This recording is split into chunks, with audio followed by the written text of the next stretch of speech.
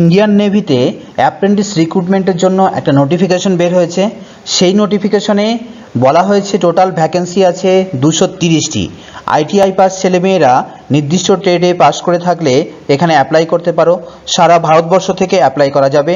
Apply করার last date এক দশ দু মানে অক্টোবর মাসের এক তারিখ পর্যন্ত তোমরা অ্যাপ্লাই করতে পারবে।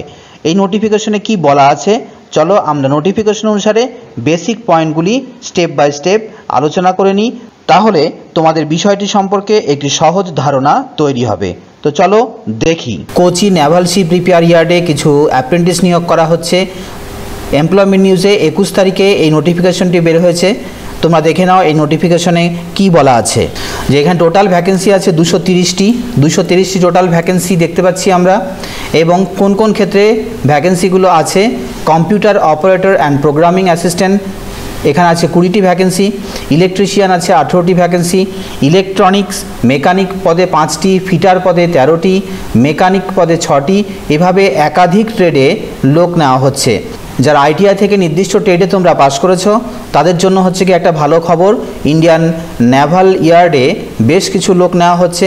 এখানে দেখো কি কি হচ্ছে, কি ক্রাইটেরিয়া বলা হয়েছে এসসি এসটিদের জন্য নির্দিষ্ট ভ্যাকেন্সি আছে এখানে ফিজিক্যাল হ্যান্ডিক্যাপদের জন্য নির্দিষ্ট ভ্যাকেন্সি আছে কোয়ালিফিকেশন কি লাগবে দেখো, এখানে বলা হয়েছে যে matric standard with minimum fifty percent marks লাগবে এবং বলেছে আইটিআই এক্সামিনেশন পাস করতে হবে সিক্সটি ফাইভ পার্সেন্ট মার্কস নিয়ে। তাহলে নির্দিষ্ট ট্রেডে তোমাদের সিক্সটি ফাইভ পার্সেন্ট মার্কস থাকতে হবে। এবং এজ বলা হয়েছে the upper age limit is twenty one year মানে ম্যাক্সিমাম একুশ বছর বয়স পর্যন্ত যাদের বয়স একুশ বছরের মধ্যে একমাত্র তারাই এখানে অ্যাপ্লাই করতে পারবে। এছাড়া যাদের এসসি এসটি আছে তারা ফাইভ পাঁচ বছরের রিল্যাক্সেশন পাবে। তার মানে তাদের বয়স ছাব্বিশ বছর পর্যন্ত, ছাব্বিশ বছর বয়স পর্যন্ত এসসি এসটিরা অ্যাপ্লাই করতে পারবে। এবং যারা ওবিসি আছে তাদের তিন বছর বয়স পর্যন্ত ছাড় পাওয়া যাবে। তার মানে তারা চব্বিশ বছর বয়স পর্যন্ত অ্যাপ্লাই করতে পারবে। এবং মিনিমাম ফিজিক্যাল স্ট্যান্ডার্ড কি বলা হয়েছে? হাইট হতে হবে একশো পঞ্চাশ সেন্টিমিটার ওয়েট হতে হবে not less than forty five KG মানে মিনিমাম ফর্টি ফাইভ কেজি তার বেশি হতে হবে। চেস্ট অন্তত পাঁচ সেন্টিমিটার এক্সপেন্স করার ক্ষমতা থাকতে হবে এবং আইসাইড থাকতে হবে six by six to six by nine মানে ছয় বাই ছয় থেকে ছয় বাই নাইনের মধ্যে আইসাইড থাকতে হবে এবং কান, চোখ সবই হচ্ছে কি ভালো থাকতে হবে। এখানে বলা হয়েছে। এছাড়া বলা হয়েছে যে এখানে যখন তোমরা অ্যাপ্রেন্টিস পদে নিয়োগ করা হবে, তোমাদের মান্থলি স্টাইপেন্ড দেওয়া হবে as per prescribe rates will be paid মানে যা রেট আছে, তোমাদের সেই হিসাব অনুসারে স্টাইপেন্ড দেওয়া হবে। এবার সিলেকশন প্রসিডিওর কি আছে দেখো।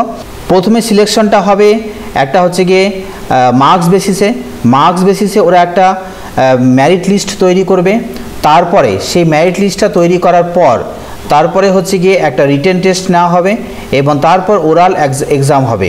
তাহলে এইভাবে রিক্রুটমেন্টটা হবে তোমাদের। তাহলে প্রথমে হচ্ছে গিয়ে একটা মার্কস বেসিসে ম্যারিট লিস্ট তৈরি করা হবে। সেই ম্যারিট লিস্টের ভিত্তিতে একটা রিটেন টেস্ট হবে। তারপর হচ্ছে গিয়ে ওরাল এক্সাম হবে। এইভাবে তোমাদেরকে নিয়োগ করা হবে। এবং কোথায় হবে? দেখো ঠিকানাটা দেওয়া আছে এখানে। The naval admiral superintendent apprentice training school naval ship prepare yard naval base Kochi কোচিতে হচ্ছে গিয়ে নির্দিষ্ট যে ন্যাভাল শিপ প্রিপেয়ার ইয়ার্ডটা আছে, সেখানেই এই ট্রেনিংটা তোমাদের হবে বা পরীক্ষাটা হবে। তারপরে বলছে ট্রেনিং শুরু হবে সাতাইশে জানুয়ারি দু হাজার বাইশ থেকে। এরপর অ্যাপ্লিকেশন করতে হলে দেখো কি করতে হবে? অ্যাপ্লিকেশন অনলাইনে করা যাবে না। অ্যাপ্লিকেশন জেনারেল পোস্টের মাধ্যমেই করতে হবে। তার মানে স্পিড পোস্ট কুরিয়ার এসবের মাধ্যমে চলবে না। একমাত্র জেনারেল পোস্টের মাধ্যমেই তোমাদের অ্যাপ্লিকেশনটা পাঠাতে হবে। এরপর দেখো কি বলছে, নির্দিষ্ট ঠিকানায় পাঠাতে হবে। যে ঠিকানাটা একটু আগেই বললাম the admiral superintendent apprentice training school naval ship repair yard naval base Kochi এখানে তোমাদের অ্যাপ্লিকেশনটা পাঠাতে হবে এক অক্টোবর দু হাজার একুশের মধ্যে। তার মানে টাইম এখনও অনেক দিন আছে। এরপর দেখো যে তোমরা তোমাদের কি কি দিতে হবে এখানে? এই অ্যাপ্লিকেশন সাথে পাসপোর্ট সাইজ ফটো দিতে হবে তিন কপি তারপরে অ্যাটাস্টেড কপি অফ হচ্ছে গিয়ে ম্যাট্রিকুলেশন মাধ্যমিক পাশের যে সার্টিফিকেট সেটা দিতে হবে। তারপরে হচ্ছে গিয়ে আইটিআই থেকে যে তোমরা পাস করেছ তার সার্টিফিকেটটা দিতে হবে। এনসিভিটি হতে হবে অবশ্যই।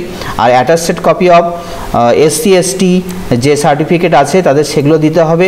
ফিজিক্যালি হ্যান্ডিক্যাপ্ট হলে ফিজিক্যালি হ্যান্ডিক্যাপ্টদের সার্টিফিকেট দিতে হবে। আর যারা এক্স সার্ভিসম্যান তাদের এক্স সার্ভিসম্যানের সার্টিফিকেটটা দিতে হবে। এরপর বলছে যে copy of character certificate sign by gazetted officer একটা ক্যারেক্টার সার্টিফিকেট দিতে হবে, সেটা অবশ্যই গেজেটেড অফিসারকে দিয়ে সই করাতে হবে। তারপরে attested copy of PAN or Aadhaar card মানে কোভিড ভ্যাকসিন তোমরা নিয়েছো কি না সেই কোভিড ভ্যাকসিনের সার্টিফিকেট নিতে হবে তোমাদের। তোমাদের কোভিড ভ্যাকসিন সার্টিফিকেট কি করে ডাউনলোড করতে হয়, আমার একটা ভিডিও বানানো আছে, তোমরা সেই ভিডিওটি ওপরে আই বাটনে ক্লিক করেও সেটা তোমরা দেখে নিতে পারো। এরপর দেখো অ্যাপ্লিকেশন ফর্মটা এখানে দেওয়া আছে। এই অ্যাপ্লিকেশন ফর্মটা তোমাদের ডাউনলোড করে নিতে হবে। তারপর তোমরা এটাকে ফিল আপ করবা। ফিল আপ করে নিয়ে তারপর খামে ভরে ওই নির্দিষ্ট ঠিকানায় সমস্ত ডকুমেন্ট অ্যাটাচ করে জেরক্স কপি অ্যাটাচ করে দিয়ে তারপর তোমাদেরকে পাঠাতে হবে। তাহলে এই গেল দেখো অ্যাপ্লিকেশন ফর্ম এবং এই যে চেক লিস্ট এটা অবশ্যই তোমাদের ভালো করে মনে রাখতে হবে যে তোমাদের কি কি দিতে হচ্ছে। এই যে চেক লিস্ট এখানে পাঠানোর আগে এই চেক লিস্টটা অবশ্যই তোমরা ভালো করে দেখে নিতে হবে। আর বলছে attested cop photocopy of original certificate only মানে অরিজিনাল সার্টিফিকেটের সমস্ত জেরক্স কপিগুলা এখানে হচ্ছে গিয়ে ফটোকপি করে অ্যাটাস্টেড করে পাঠাতে হবে।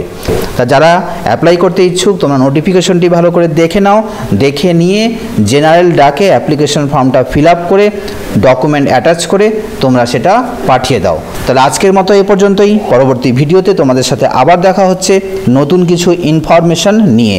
যারা আমার চ্যানেলে নতুন এসেছ, তোমরা আমার চ্যানেলটিকে সাবস্ক্রাইব করে রাখো, এমনই কিছু ইনফরমেশন পাওয়ার জন্য। ধন্যবাদ।